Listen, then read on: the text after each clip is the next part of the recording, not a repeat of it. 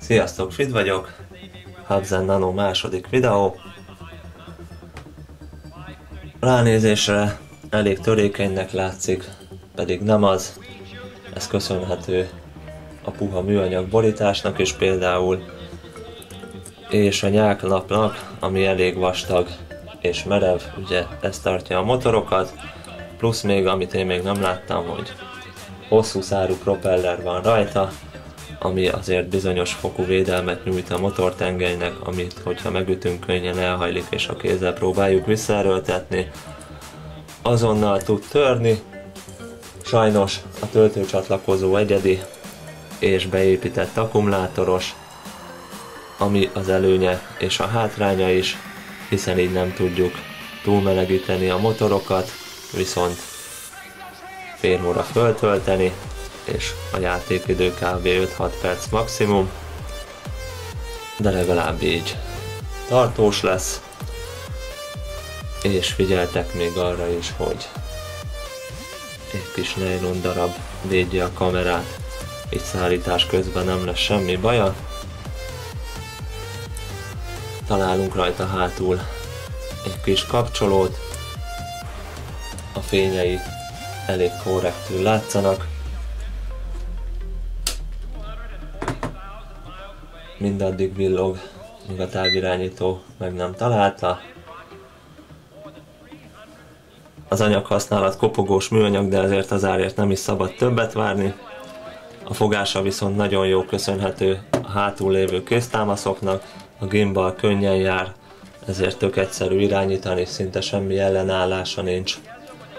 Oldalt találunk két jack csatlakozót, egy USB-t és egy microSD kártya helyett,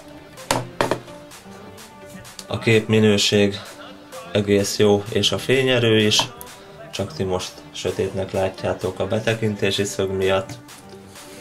A késéssel sincsen szinte semmi probléma. A távirányító rögzíti a felvételt SD kártyára, innen is jön például, hogy HD kamerás, hiszen csak egy alacsony felbontású videót konvertál fel az SD kártyára, szóval ez igazából kamu, plusz még ugye mivel FPV, az összes zaj és hasonló hangyák, egyéb dolgok rajta lesznek a felvételen, minél több az akadály, és minél messzebb van tőlünk a gép, úgyhogy erre inkább csak tekintsünk némi extraként. A drón menüből konfigurálható, ami egy tök jó dolog. Két mód van rajta, normál mód és expert mód. Normál módnál az értékek mind 55-ön vannak, expert módnál minden százon, viszont ez a száz is nagyon kevés, mivel lassan fordul a drón, lehetne egy kicsit gyorsabb is.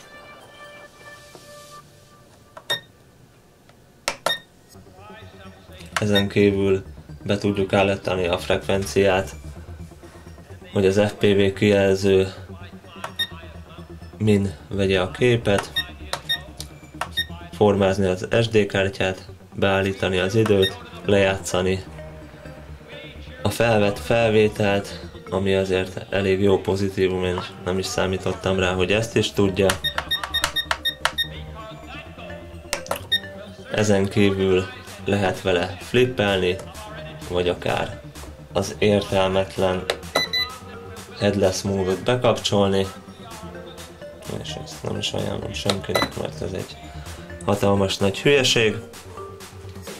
Ugye is expert mód, és normál mód között váltani. Nem maradt más hátra, mint a végszó, 11 ezer forintért.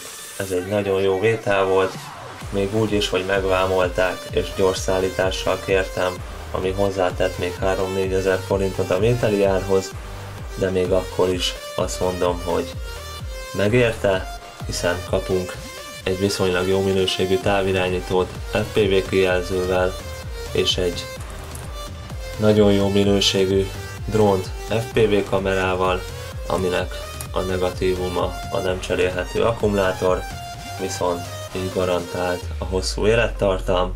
Ez lett volna a bemutató videó, köszönöm, hogy megnéztétek, Fid voltam.